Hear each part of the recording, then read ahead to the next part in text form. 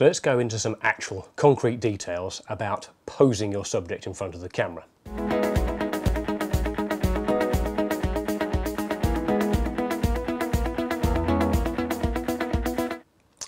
Now, initially the idea of posing your subject can seem really strict and seem very formal, as if you know, there's only a certain way you should stand or sit or hold your head in a portrait. But that's not actually what it's about. What it's about is making your subject look good and feel comfortable. And there's no escaping the basic physics of how the human body sits, stands, moves, and what looks good on camera and what doesn't look good on camera, and also what makes people feel comfortable and what makes people feel uncomfortable. And ultimately, if people are comfortable in front of the camera, and if they're looking good, then that's all to the good, isn't it? That's what we're looking for. And if that means learning a few basic rules about how best to hold yourself, how best to stand or sit or move, then probably worth learning those rules, okay? Now the first step to studying posing and how the body looks on camera is just to look at the body as much as possible in all sorts of different situations. Look at people standing, people sitting, people lying down, people as they move. And of course, you don't actually have to have a camera to your eye and be on a shoot to be doing this. You can look at existing photographs and find poses that you think work. You can look at people in real life, although be very careful about staring at strangers, don't get into any fights. And of course, you can simply look at yourself in the mirror. Um, there's no harm at all, and in fact, a lot of benefit to be had from getting a full length mirror and simply standing and moving and altering positions and seeing how your body position changes and how much, how different you can make yourself look just from a few little shifts of position. One important thing to bear in mind when you're looking at existing photographs there or the work of other photographers or other artists is that a pose that works for a certain person may not work for everybody. Uh, for example, if you find something that looks fantastic, it's a fashion shot, let's say, and it's probably a, a very demure, very delicate little model, and you try that same pose on the average person, it may well not look the same because the average person is probably going to be quite a bit heavier and bigger than that demure little person. It's also possible that demure model may be more flexible, maybe significantly taller. Different body shapes will react different ways. So one thing you'll need to learn is you cannot necessarily carbon copy what you see in a magazine to something that you photograph with just somebody off the street or a friend of yours, okay? You'll need to learn that these poses have to be adapted a little bit and what works for one person might not necessarily work for the next person. Whilst I'm sitting here on this nice comfy sofa, it's a good chance to talk about the general principle of making your subject comfortable. Now, this is almost a, a golden rule really of portraiture if you want to get the best out of your subject, you want them generally to be comfortable.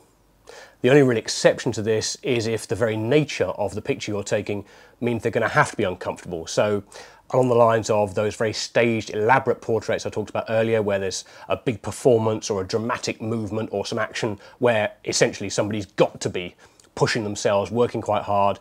Obviously, in that instance, they won't be terribly comfortable. But pretty much the rest of the time, your best bet is to make sure your subject feels comfortable. You'll get much more out of them that way rather than having them on edge and tense. Most people don't relax when you point a camera at them. I suspect we've all experienced this many, many times, and it's quite likely that applies to you as well. Uh, I'm okay in front of a camera personally, but it's not my job to be in front of a camera, so it's not really a big concern. However, we can take the comfortable thing slightly too far. Got to be very, very careful with the comfort level because watch what happens if I make myself really comfortable in this sofa. Sit right back, make myself nice and comfy, and watch what happens to my body. I've instantly got a double chin. My arms have probably got fatter. Now, I don't have very big arms, so it's not the end of the world, but if I did have big arms, it probably wouldn't be the greatest thing going.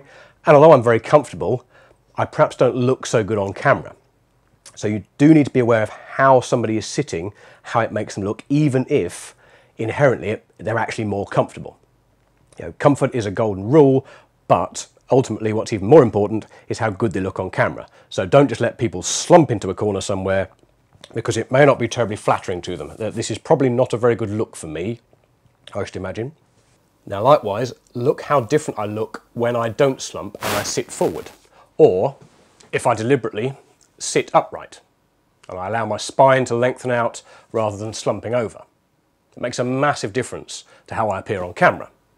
The best direction I ever found related to this is to try and get people to imagine that there is a, a strong invisible thread that is pulling and running through their head, down their neck, and down their spine, and it's just lifting them up and pulling them up a little bit, just holding them erect. Because most people will not sit like this very long at all. They will naturally start to round out and slump. That can work in some shots, but sooner or later, people's shoulders shrugging up, people's you know, people's bellies will get larger, whereas if they sit taller, they'll generally look look much stronger, they'll look much better on camera, and you'll also have much more control over them because they're in a more you know, a more stable position rather than just slumped over and not liable to move. So imagine the invisible thread lifting people up and you'll get a much better body shape out of people. Sticking with comfort, watch your subject closely for signs of tension in their hands and around their neck and their jaw. When somebody gets very, very tense, you may see almost white knuckles as they're clenching their hands together. And you can certainly tell if they're clenching and, and they're building up tension in their hands. You may see tendons in their neck going very, very straight and, and tensing up and the whole neck getting very, very tight. Or you may see people's jaws getting clenched. You may even see people's cheeks getting tight as they hold a fake smile for far too long. When you see somebody getting tense, stop. Take a little break. Get them, you know, put the camera down, out the way, get them to take a few deep breaths, get them to change their state, get them to you know, roll their shoulders, shake their arms, whatever, needs be so that they, they change their body position. Because what will have happened is they will have got more and more tense, more and more curled up and tight around themselves. And if you keep shooting, it will only get worse. The only way to get out of it is to stop shooting and just let them, let them release, okay? Take a few deep breaths, get them calmed down, and then carry on, okay?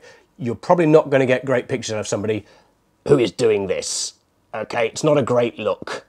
Now, needless to say, if the picture or portrait you're trying to take involves somebody getting tense, uh, working very hard, so those sports or action portraits or staged portraits I was talking about earlier, if that is part of the, the shoot and the thing you're trying to create, bear that in mind. Obviously, you've, you've got, you know, the person's got to be working hard, they're perhaps going to be exerting themselves, but allow them regular breaks you know, don't break them. you know, the aim is not to be competing in something, but to create a great picture. And you don't want to, people to get fatigued and end up getting injured. You want people to feel comfortable with what they're doing, even if what they're doing involves them exerting themselves. So yeah, don't push things too far, even if you do actually have to generate a bit of tension in somebody or get them working at a certain level. Don't be afraid to give them regular breaks. At the end of the day, like I say, you're just making pretty pictures, not competing in the Olympic Games for something. One last thing to think about regarding posing before I stand up and start doing things full length is thinking about what light your subject is in in regards to what pose they're in. Now, if you're lighting something with a very broad, very soft light, at the moment I'm in a fairly soft light, there isn't much contrast from side to side, it doesn't make too much difference to me whether I move, whether I sit back, sit forward. The lighting doesn't change very much.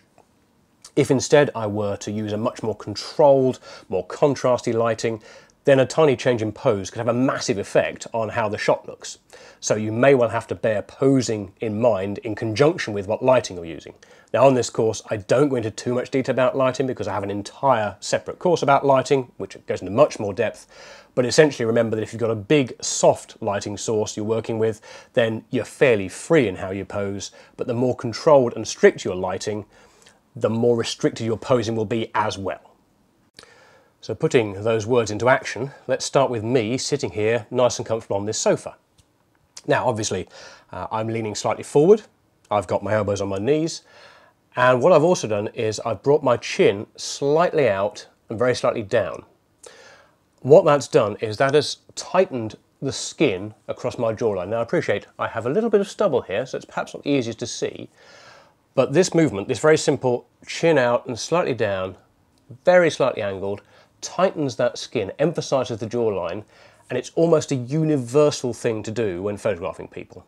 Okay, just to give you an idea of what happens if you don't, watch how my jawline changes if I pull my neck back in and bring my chin down, and I sit with my head in a more natural position. I instantly start to get extra skin around here. I mean, I am now 40 years old, so I do have a little bit of extra skin around here. Most people do, apart from the very, very youngest, fittest of people. So a very gentle move, chin slightly out, very slightly down, just helps to tighten around there. It's almost universal, that trick.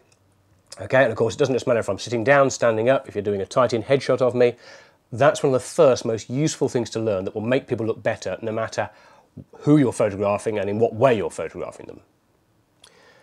Keeping our movements quite subtle and small, let's look at something very simple such as eye contact. Now, direct eye contact with the camera right down the lens like I'm doing now can have a few different meanings depending on what expression it's matched with. It can be quite confrontational. Now, I'm not the world's greatest actor or model, but I'm sure you appreciate that if I'm staring right down the barrel of the lens and I've got a very severe expression on, it's quite a confrontational feel to the image. By comparison, if I'm laughing and joking, there's a certain engagement that you'll get with the viewer because I'm directly in contact with the viewer and I'm happy and I'm enjoying myself and there's an instant rapport you build. So direct eye contact doesn't have to be scary and confrontational. It can be warm and friendly depending on what expression it's matched with. Sticking with eye contact, if I turn my head to one side slightly and I look back at the camera, there's more of a conspirational feel to things, as if I'm letting you in on something, as if I'm being a bit sly, there's kind of a secret I want to let you in on.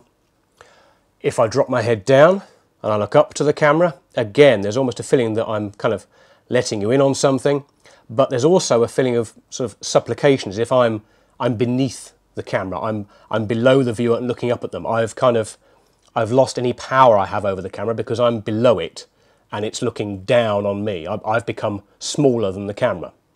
The other way around, of course, if I put my head back and I look down at the camera and I make eye contact from higher up, I get more power than the viewer.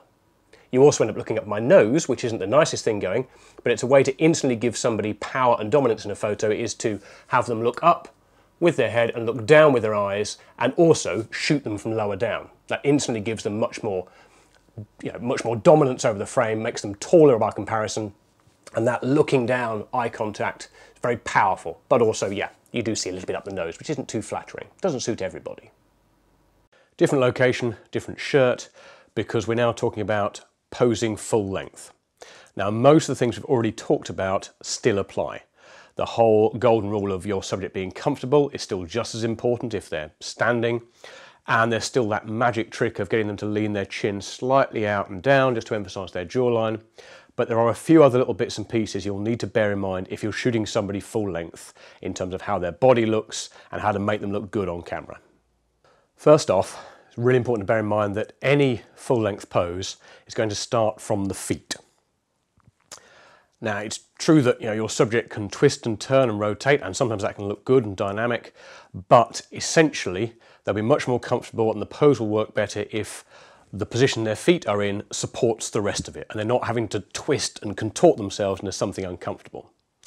Feet, of course, are so fundamental, and the tiniest changes in how you, you, you, have your feet placed can make quite a big difference. For example, if I stand straight to you like this, with my feet very close together and straight to you, I obviously look a little bit uncomfortable, a little bit stiff and odd, like I'm some sort of soldier on parade.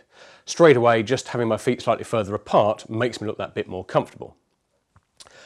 What can make a massive difference, though, is simply a tiny adjustment in my angle just like that. I haven't, I've moved very, very little. I've moved probably a few inches with one foot in front of the other, and I've also angled my body very, very slightly.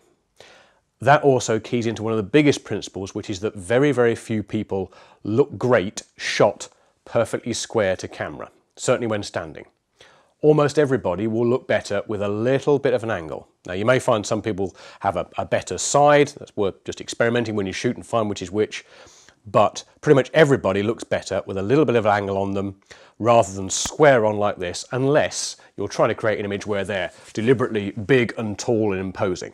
Okay, for the most part, standing side on makes people look a little bit slimmer and it gives them a little bit, there's just a, an inherent movement in the body that makes them look a bit more dynamic rather than a static confrontational shot, or worse, of course, a really, really stiff pose like this. So the tiniest movement in the feet can make a massive, massive difference. So a lot of the time you may want to give your subject a bit of an angle to try and take a bit of weight off them, make them look a bit slimmer, give them a bit of sort of slightly dynamic movement. But it may be that you actually want to make your subject look bigger and more imposing. And of course the way to do this is to get them to stand nice and wide, possibly hands on hips, possibly crossing arms, And also, as I mentioned earlier, you can simply shoot from much lower down so that they become bigger and imposing and they end up looking down to you. This can be quite useful for something like athletes or anybody where you're trying to give them a, an air of power and strength. Another simple trick that can help with the feet is having your feet at different heights.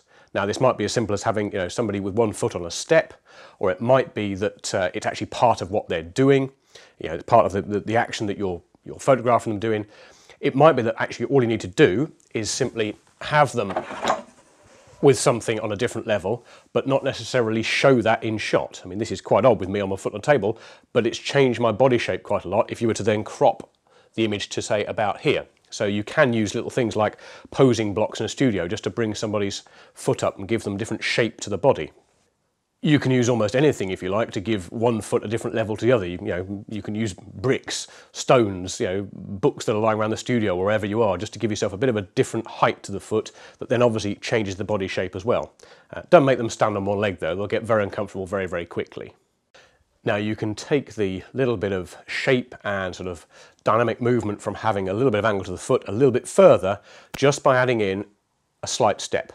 Just simply get your subject to almost rock onto the back foot, forward foot, back foot, and so on, and catch them just, just as they move. It just creates that little bit of shape and sort of natural movement in a body that just makes a shot feel that bit more relaxed than of course the ultimate opposite which is standing very very stiff to camera. Yes it can feel a little bit forced but it also helps because it gives your subject something to do. Uh, as we discussed quite a lot if you get somebody stuck in place and they get very very tense it won't look great on camera but if you give them just a little bit of movement and you know pretty much anybody can simply you know rock back from one forward one foot to the other it'll help them relax and calm down and that as we know is a good thing. One thing that we can look at now we're shooting full length, which I touched on briefly earlier, is what happens to soft body parts. Uh, we've already seen what happens if I sit right back and drop my chin down, I'll get a double chin. But other parts of the body can be soft and can change shape depending on where they are. Now I'm obviously fairly skinny, so I don't have lots and lots of uh, spare body to play with, but if I press my arms against myself in some way, my arms will flatten out. So that might not be the look I'm after. I might want to slim my arms down, in which case I would hold them away from my body. I would give myself a bit of an angle. But if I wanted to make them bigger, I could, of course, cross my arms. And that would, you know, particularly if I tucked my hand underneath here, I would actually be giving myself more bulk here. And of course, for blokes who want to look muscly, that might be quite the look you're after. It may not, of course, suit women who perhaps don't want to have big arms. Okay, so bear in mind that any body part that presses against another body part is going to flatten out and in doing so look bigger. Now of course the same goes for legs. Now again I don't have great big legs so I can't really show you but you know if I, if I were to stand with them pressed together this would probably flatten out. If I sat down on something hard my legs would flatten out against the hard surface but if I wanted to slim them all I would need to do would simply stand with one leg behind the other or give it a little bit of angle and suddenly I've slimmed my body down quite a bit and I can of course you know, slim my arms down by having them away from my body just simple little movements like that can be much more flattering than somebody standing with everything together like this and all the soft parts of their body pressed up against each other and getting bigger. Now a prop of some sort can make or break your shot. Uh, it may well be it's also essential to the shot. It may be that the prop of whatever sort is an essential part of the story you're telling about the person, so you've got to get it in the shot somehow. If that's the case, then the golden rule to remember is that, of course, the shot is about the person, not the prop, so don't let the prop take over. It's also vitally important that the person is comfortable with the prop and knows what they're doing with it, that it doesn't become just something that they're really wary of and, oh my God, what am I doing with this? I don't know what I'm doing, and they become stiff and tense and uncomfortable, and we know that's bad. Now, of course, if it's the case that the prop you're using is part of their work, part of what they do, you probably won't have this problem. You know, for example, I am holding a camera. I can look very comfortable with this. I can operate it in a way that looks like, you know, I know what I'm doing. But the same camera in somebody else's hands, because this is quite big and heavy and expensive, could not only make them tense because they're worried about dropping it, but they could be using it in a way that would make them look like, oh, I don't really know what I'm doing with this. And it would actually take away from the photograph. Okay, so props can be great. They can make people feel more comfortable.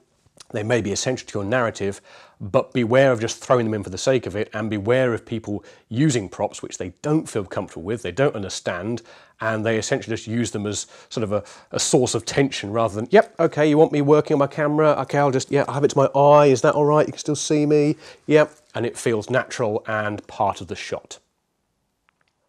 Pockets and straps and things that you can hold your hands on or put your hands in are just the same as props really. They can make you look more natural and more comfortable or they can make things look contrived and forced and really very, very wrong. It all depends on you know, where the pockets are, how deep they are, what you want your subject to be doing as to whether it works or not. Now, for example, I've got you know fairly deep, comfortable pockets in these shorts, so I can stand with my hands in and I can look like I'm casual and relaxed. Although there's always the risk that, of course, it cuts my hands off, which can look strange. If you're photographing women and they've got trousers on, their pockets are likely to be very, very tiny because they're not actually for putting your hands in. So trying to force the hands in won't work at all. By the same token, if you have something like a rucksack or a bag and you have got thumbs in the straps, that can work, that can look natural. It can also sometimes look very, very forced. Also be aware of how holding your hands in certain places, on straps or in pockets, will change your body angle. You know, it can be that hands in pockets, if you lean back a little bit, bit of an angle, can make you look nice and relaxed. Hands in pockets can just as easily force somebody to hunch over. And of course, it creates shapes in clothing. You know, I've obviously now got strange bulges on my thighs that we know are my hands, but framed a different way or shot from a different angle could easily look very, very suspicious indeed. And of course, the tighter and smaller the pocket, the more that might occur. Likewise, beware of bulges in people's pockets. Uh, you know, I've got a radio microphone in my back pocket, but if it was in the front, you might see a strange, mysterious bulge down there. So be aware of things like phones and keys and wallets on people, because it's not very complimentary if you've got a great big lump just here. Don't be afraid to use them. Don't be afraid to get somebody to sort of put their hands in their pockets or wherever it might be to make them feel more comfortable. But do watch closely. Make sure you're not just cutting people's hands off or you know, really changing their body shape, making them very uncomfortable. Okay, just like props, use them to augment the photo, but beware there's a few little catches that can make them look, yeah, not as comfy as you might think. Now finally, with regards to posing, I want to talk a little bit about working with people who are experienced in front of the camera. So professional models, actors, celebrities, people of that ilk who are very well trained in front of the camera and almost go into autopilot the minute you point a camera at them. Now in many ways, this can be very, very handy, particularly if you're just starting out with portraiture. If you've got somebody in front of the camera who's experienced and knows how to hold their body and look good, you can take your mind off that and you can concentrate on all the other aspects of the shoot you want to focus on. Um, I've certainly had no end of very, very well run, well organized shoots whereby professional models have made my life several times easier because there's lots and lots of things to get done. I've got, say, lots and lots of catalog stuff to shoot, and a professional model just knows exactly how to stand and they move almost every single frame. You know, every time I, the flashes go off, they sort of shift from here to here. They're very natural about how they move, they look okay on camera, and almost don't need to direct them, and that can be brilliant. Okay, so there's no harm at all in using professional models or people who are much more experienced, it can take a lot of pressure off you. The catch is, it can mean that, like I say, they often go into autopilot and all you get is these pre-packaged, this move, that move, move number seven, move number eight, okay, which might not be what you're after at all. Um, I've also had my fair share of celebrity portraits whereby the celebrity just goes into camera mode and all they give you is this face. They just they play out a role and that's what they do. And of course, if all I'm getting is just some publicity shot, well, fair enough. But if I'm trying to get something more interesting than just, this is my camera face, it's quite hard work. So sometimes having somebody who's so experienced can work against you and you may need to you may need to struggle to kind of get them back to a point where they're a bit more relaxed and giving you something that isn't just the pre-packaged set of moves that they do but quite a useful place to start if you're you know, inexperienced and you want to concentrate on the technical side of things, the lighting and all sorts of other bits and pieces. Having somebody who's comfortable in front of the camera is a big plus. I'd recommend it to start with. Posing is a really important skill in portraiture, and I've only really scratched the surface here. Knowing what looks good doesn't constrict you, it liberates you. The, the more comfortable your subject is, the better shots you're likely to get full stop. Now you can learn more about posing by looking at existing photographs, by looking at people, by making a prat of yourself in front of the mirror, uh, essentially anything that helps you understand how the body moves and stands and sits is all good.